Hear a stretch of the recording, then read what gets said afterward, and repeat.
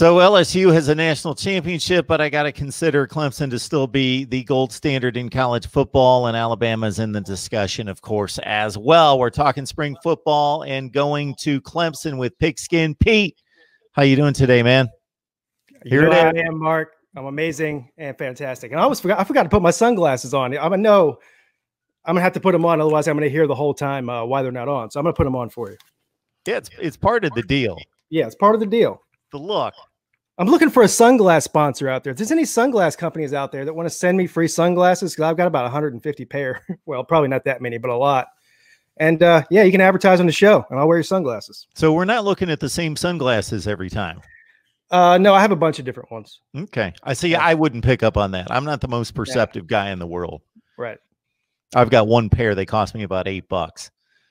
So, so that's I've got how some, I I've got some of those. I've got some of the high dollar ones and some of the low dollar ones, and quite honestly, on camera, you can't really tell the difference. So, all right, uh, Clemson football. All right, you guys are in good shape, licking your wounds after a championship loss, but uh, still, man, this thing is just on a roll when it comes to picking up recruits and uh, it just being a destination for uh, the top players in the country. But the defense is going to look a whole lot different here in 2020. Uh, you had that famous group in uh, 2018, that defensive front that could be considered the greatest in college football history when you both look at productivity at the collegiate level and then as that translated to NFL draft status. Uh, how would you evaluate how they played uh, with all the new players up front last year in comparison? Well, it was a totally different looking defense altogether. Uh, Clemson's normally played a 4 3 under Brent Venables when they've had the defensive line to do it. This year they played a lot of three four, and um, I expect them with the veterans that are coming back this year, as well as some of these amazing guys that are coming in this year that aren't just going to be. Uh, you know, role players like a lot of the freshmen are. I think they're going to be. You're going to see a lot of uh, first day, day one starters on that defensive line that are freshmen, and so I expect to see a lot more of the four three. As, as far as the way they played last year, um, they played as well as they could with the personnel that they had. Honestly, I mean, I, I, was I wasn't disappointed. It was just a different looking type of defense, but I, I still think they held their own for uh, for them. And listen, they were number one defense in the country up until they played LSU, so I can't complain about that. All right, let's kind of take it through uh, in regards to the three levels. Uh, what are you looking to see in spring practice? Are you going to be able to see anything that's going to give you a little bit of of uh, a little bit of comfort headed toward August, or maybe a little bit of concern as you go through the line, the linebackers, and the secondary? Yeah, so spring practice has actually started uh, about six days ago, I think. So we're we're well into it here, and um, I haven't seen a whole lot of video footage from that, and I don't really think they actually put a lot of video footage of, of that out. I, all I have to go off of of what's happened so far is what Dabo Swinney said and this is one of the things that's great about Coach Swinney because he ta- he says a lot, and he, he you know he talks too much. Uh, people who aren't fans of the Clemson Tigers uh, could you know probably do without so much talking from him. But if you're a well, fan, he gives me a few things to say. Yeah, I, I go after him once in a while. But the good thing about him, if you're a fan, is he'll he'll give you no shortage of information. Um, he'll he'll guard them a, a, little bit as far as injuries are go. You know, that's probably more of a personal thing with him. But but, it, but the favorite thing I like about Swinney when he's uh, evaluating these new guys and trying to get across to the fans and the media about what kind of player they are, because he's been there for so long. Coach Swinney has at the university. He's always comparing this new guy to a guy from the past, whether it's from two years ago or from 15 years ago, right? So he always makes these comparisons and he'll kind of give you a little bit of insight into what kind of uh, player they're going to be. Uh, a couple of minor injuries, I think, in this uh, spring practice so far. Uh, Bryan Bresee, who's the number one, was the number one overall player in the country, defensive tackle. Uh, I think he was a little bit banged up with like a twisted ankle or something. No, but luckily, not unlike last year, I don't see any major injury problems going on uh, so far this year. So that's a good thing. Uh, just a couple of nicks and bruises, you know, normal stuff when you start uh, when you start spring, spring practice. But uh, the guys I'm looking forward to seeing the most, both in spring practice and in the spring game a month from now, is always going to be the the incoming hotshot guys, right? So Brian Bresee, Myles Murphy, uh, Demarkcus Bowman, the running back out of Florida, who was uh, uh, Mr. Football in Florida last year, 2019. So he's a, a great player. Demonte Capehart DJ Uiagalelei, the, the hot shot quarterback, is coming in from California. Trey Williams, defensive tackle. Fred Davis, cornerback. Uh, Eddie Williams Jr., wide receiver. Uh, Trenton Simpson, the linebacker. Uh, so there's a bunch of guys, and that's that's what that's always what I focus on when I go to these spring games because I go to these spring games every single season now. It's sort of a tradition for me to go with a couple of uh, a couple of my buddies. Uh, some of you have, you know know some of them from uh, your your chat room on YouTube here, but uh, those are the ones I always look forward to seeing the most are, are the new guys. So yeah, you just you just spit out uh, like a dozen four and five stars. Yeah. If you could pin it down to two or three in regards to maybe a little higher expectation of what you're going to see, not just in the spring game, but maybe because of situational, uh, positional need, mm-hmm. plus just their outstanding ceiling, that they could actually make a pretty serious impact in the fall. Yeah, so both, at least two of these will be defensive linemen. Brian Bresee who is the guy I'm looking forward to out of all of these recruits to seeing the most. Uh, I've just been blown away from his tape. And I realize high school tape and highlights and things like that, you can only learn so much from that, right? But um, looking at some of these like elite top top level players high school tape over the past say 15 years the only one i could say that was as dominant as this guy was at the high school level on the defensive line was Jadeveon Clowney from south carolina and so that's what you see from brian Bresee on his high school tape. Uh, he, he's just he's already you know a lot of these guys come from high school. They need a year or two to mature physically and uh, and skill wise. And he just seems to be one of these guys you can plug him right in there, and he's just going to be a game wrecker all day one. So he's number one. Uh, also at defensive end, Myles Murphy, um, and and then the other guy on the defensive line is Demonte Capehart. So those are the three. And again, that's that's three defensive linemen uh, that I'm looking forward to seeing the most. Everything's going to be on the on the line there. What's crazy about Bresee in regards to the um, the expectations is if you look up his recruiting numbers, you just see ones across the board. Number one player in the state, number one player at his position, number one mm-hmm. player, period. Yeah. And then I just saw a number uh, the other day. Uh, the 247 composite has him rated as the 15th rated, highest rated player in the history of their ratings. Yeah. Since they started ratings, top 15, period. Yeah, his size, his speed, just everything. Um, he just looks like he's already a 20 year old kid who's been playing college football for a couple of years. Uh, it, and even from what I heard, you know, from him at spring practice, I don't think he's been has been doing full drills, but uh, he's just throwing people around. I mean, we're talking about veteran offensive linemen. He's he's throwing around like they're rag dolls. So yeah, I, I, I, he's the one I can't wait to see the most. Murphy, uh, highly regarded as well, a top seven player, not mm-hmm. at his position, all positions. So he's the mm-hmm. top seven player, uh, number one rated player. Uh, just taking it off the beaten path in regards to what's going to happen in Clemson. And as you mentioned, they've already hit the practice field. This uh, turnout by Isaiah Simmons at the NFL Combine was pretty serious. Yeah, he's a he's a unique kind of player. So the question is, what will wherever he's drafted, what position will he play? Because he can play legitimately at a pro level. He could play cornerback. He could certainly play safety, and I think he could play linebacker. His size and speed, and just uh, his ability to track the ball, and his tackling ability, which I think is probably one of the best in the country. He's, I think he led the country in tackles last year. He certainly led Clemson in the ACC in tackles. He was right up there as far as Power Five tacklers. So, yeah, I mean, he's he's a um, well, I'm trying to think of a clean way to say this. He's He's, he's nasty. he's no, I was going to say something else, but he, he's everything that a defensive coordinator is dreaming about. Let's put it that way. Uh, if you're an NFL player, um, he reminds me a lot of Shaq Thompson that got drafted by Carolina three or four years ago, and he just when when Shaq Thompson came out of I think Oregon, right?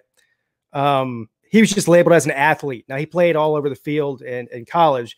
I, but Isaiah Simmons, I don't think is going to have a hard time, you know, stepping into whatever role they put him in. I think they'll give him a definite role. He won't just be an athlete. He'll be either a linebacker or a safety, or depending on which defensive coordinator gets a hold of him. Got Pigskin Pete on the line talking Clemson football. The Tigers are on the practice field with spring the spring game, just about a month away, and um, I got to say that over the past couple of years, in thinking about spring games, so this happens to me every year. I'm so starved for college football that when I, I, I really start to get geeked up for for spring football, and then I watch about five plays of these spring games, and then I realize, oh yeah, uh, this isn't football. This isn't real football. But yeah. the way they've done it at Clemson the past couple of years, with the help of the network uh, at ESPN, they've made it more of a show. Not they're not covering a game. Most of these networks screw up by mm-hmm. covering these like they're actual games. They're not games. Yeah, uh, you got to supplement it with storylines, and you got to talk to the key people so they get right on the field. They got Dabo there. They talk to Venables. They bring some players over. They mm-hmm. talk about key situations. I thought it was fascinating. I think it was um, Derion Kendrick, who was moved from wide receiver to mm-hmm. defensive back and really talked about the transition he would have to make, really highlighted him, that ridiculous group of wideouts that you brought in as a freshman class with uh, uh, Ngata and Ladson mm-hmm. last year and really highlighted those guys. And uh, Dabo was really uh, specific in talking about not just being freakish athletes, but they were so collegiate ready just in regards to their understanding of coverages, how to find the soft spot, how to line up, how to mm-hmm. break. Uh, it, it, was just uh, it was it was probably the best spring game I've ever seen, just from the standpoint of information. Yeah, there's you're seeing a lot of other teams start to do that now. Now, since I go to these games, I don't get that perspective until I get home and rewatch it. You know, I'm I'm in the stands. But uh, yeah, you're right. It's it is a different way of seeing things from field level with all the interviews, and they're and they're going from uh, sideline reporter to sideline reporter, and they're having conversations. Uh, one thing that I think you will definitely see this year, as far as individual players that Dabo seems to be focusing on already, veteran players, not new players, are two guys in particular that have been labeled by some people to be potential busts who were both five star, highly, highly recruited guys going into the third season now. And those would be Xavier Thomas and KJ Henry, both defensive linemen.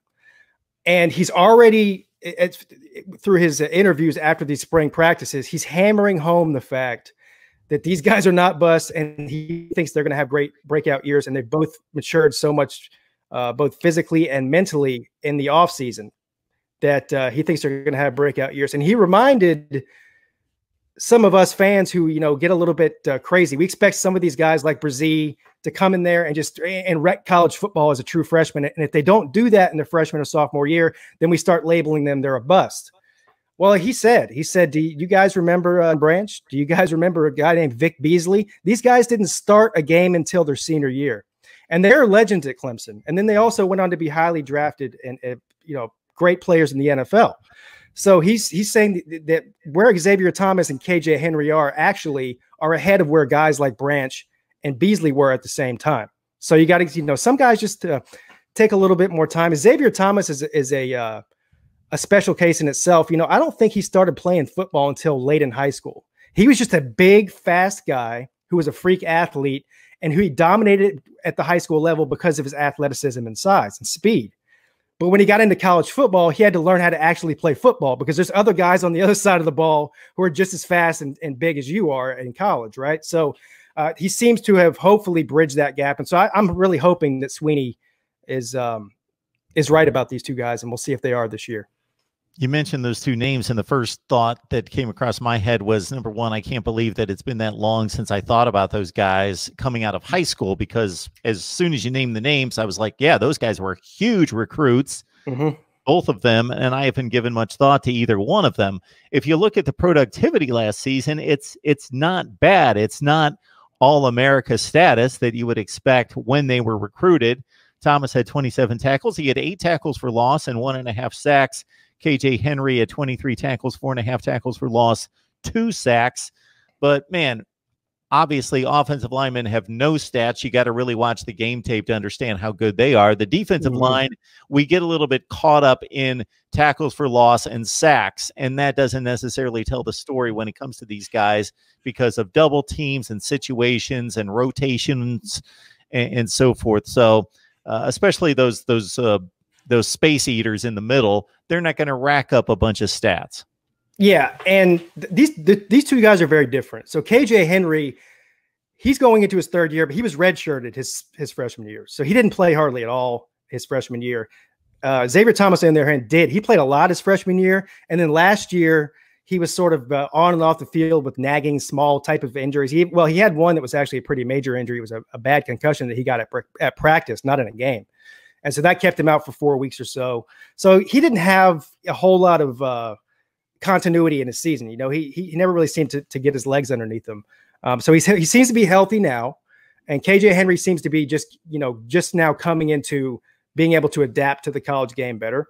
Uh, but like you said, these are two freak athletes. If you if you just uh, if you took the jersey off of them and the number and the helmet, anybody in the country just watching them run around would want any of these either one of these guys on their team in a heartbeat, right? But um, but sometimes again, like sometimes it takes time for these guys who are just great athletes to learn that uh, you know this is there's more than just being a a great athlete. You get you actually got to you got to know the X's and O's and and to play in a Brent Venables defense. It's something that very few people are, are ready to do. I don't care how good of an athlete you are, you know, right out of the out of, out of high school. And I think the combine shows us that when you really listen to the analysts that know what they're talking about, when they talk about hand placement and they talk about all sorts of just technique uh, specifics that are so minute. But um, you know, you can be a freak athlete, six five, run like the wind, the whole deal. But um, if you don't have at least good technique, obviously the athleticism needs to be there. Then you're not necessarily going to be the player that uh, the scouts saw when they saw you on the field uh, for the first time and working yeah. out. And Swinney, you know, another one of his, you know, cheesy things that he says, but it's actually a lot of truth in it. Is that he says you sometimes you'll see a guy that has five star talent, but he's only a three star commitment, or, or some guys that have three star talent, but they're five star commitment. So uh, as long as these guys that have this talent can stick with it and don't get frustrated because they're not starting and they're a five star guy after two years and then they, you know, transfer out or quit school or whatever it is, if they stick with it eventually, if you're working with Brent Venables and you had that kind of talent and you have commitment, you're going to be great eventually. Clemson's on the practice field. We're talking to Pigskin Pete uh, about the Tigers uh, hoping to reclaim a national championship, and obviously they own the ACC. Uh, as soon as you mentioned five star commitment versus three star talent, I thought of Hunter Renfrow. Adam Humphries obviously was the was the uh, forerunner to that position for as good as this wide receiver corps is, do they miss that? Of course, they miss that guy, but do they miss that type of player, the Julian Edelman type that can sure. that can convert the third and five? They sure do. Yeah, it, he's a he was a hard guy to replace. It, it, the, offense looked a lot different without Renfrow. Third and Renfrow is what we called him at Clemson, and that's translated over to the Raiders. He's the biggest third down guy in the history of our program, and uh, yeah, he just never dropped the ball. I think it was uh, what was it 2017 he uh, he didn't have a single drop the whole season not one. And uh, you know there, he was the only guy in the country that didn't have a single drop in the whole season. So yeah that that does hurt uh, having a guy that that's just that reliable um, to catch the ball whenever you need him to catch it is going to hurt. I, we thought or at least i thought i know some other fans thought that Amari Rodgers would step into that role last year but at the end of the day they're, they're not the same player right? I mean, Amari Rodgers is uber talented guy. He's dangerous with the ball in his hands, but he's not Hunter Renfrow, and Hunter Renfrow is not Amari Rodgers. They they both have a different type of skill set. So the question is, I mean, I don't know how you replace a Renfrow two years later. Can we? Do, who will step into that role, and, and who will it be, and and can it be even be done? I don't know.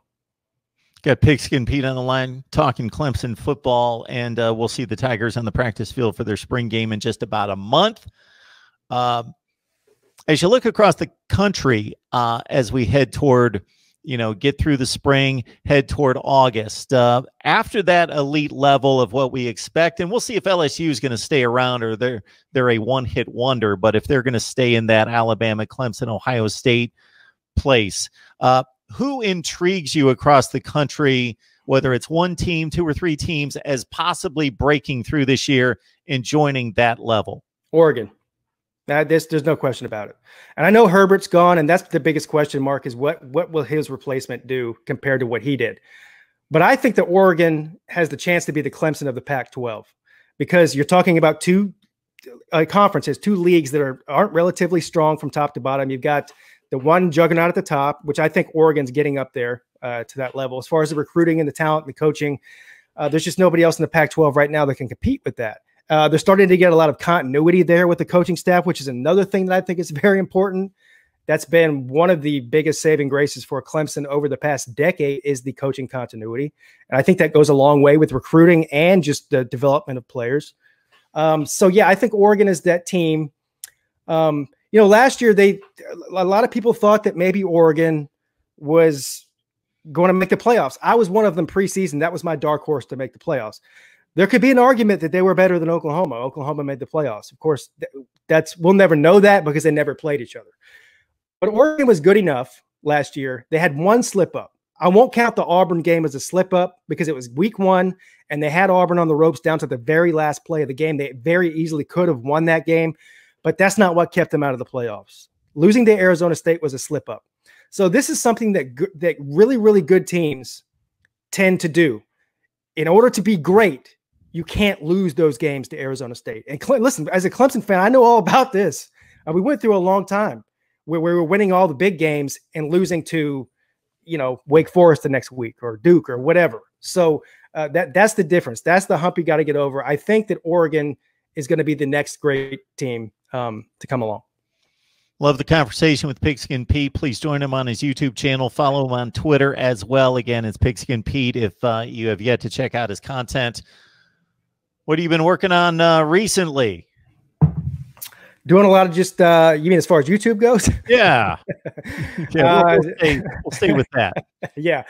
Um, just doing uh, my, my, my weekly regular videos where I'm you know, giving news updates and my opinion on uh, some of these newcomers that are coming in. A lot of things that we talked about today is, is what I'm working on, and uh, and also trying to do more live shows. I like to talk with the uh, with the fans and um, getting into some things other than just football during the off season here. Talking about music. I know you stopped in the stream the other night.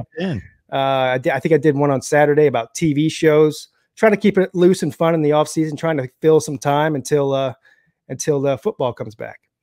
I got to tell you, man, to keep my attention in a live stream for more than five minutes, man, you must have been doing something good.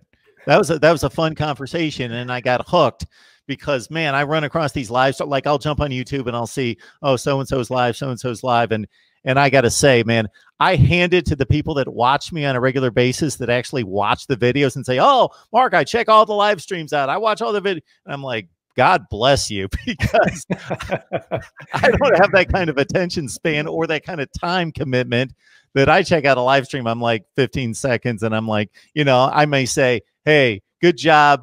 Keep it up. Right. Good to see you. And I'm out, but I stuck around for 15 or 20 minutes. Well, I appreciate it. Every, you know, that's one thing that it doesn't matter if, you know, since I do a, a college football YouTube channel like you do, you're always going to get uh, people get their feelings hurt because you say something about their team, or there's always going to be a lot of butting of heads over the football because people let their fandom get in the way. I completely get that, and I actually embrace that, you know, happening with the, within my chat. But with the music thing, this is the only time that an Ohio State fan, an LSU fan, and a Clemson fan can all agree on who's uh, you know the best guitarist of all time, or or whatever. So it's it's a lot of fun to do stuff like that once in a while to remind each other that there's more to life than football. There is music too. Who is the best lead guitarist of all time? Uh, I would probably say Eric Clapton or Jimi Hendrix. Uh, Clapton is probably the one I would go with. Okay, I yeah. can't uh, debate that in any such way, but those seem like uh, pretty standard answers there. That that makes sense. Mm. All right, Pigskin, we appreciate you dropping by and uh, sharing some knowledge with us. It's always a great time, Mark, uh, and I will see you guys next time.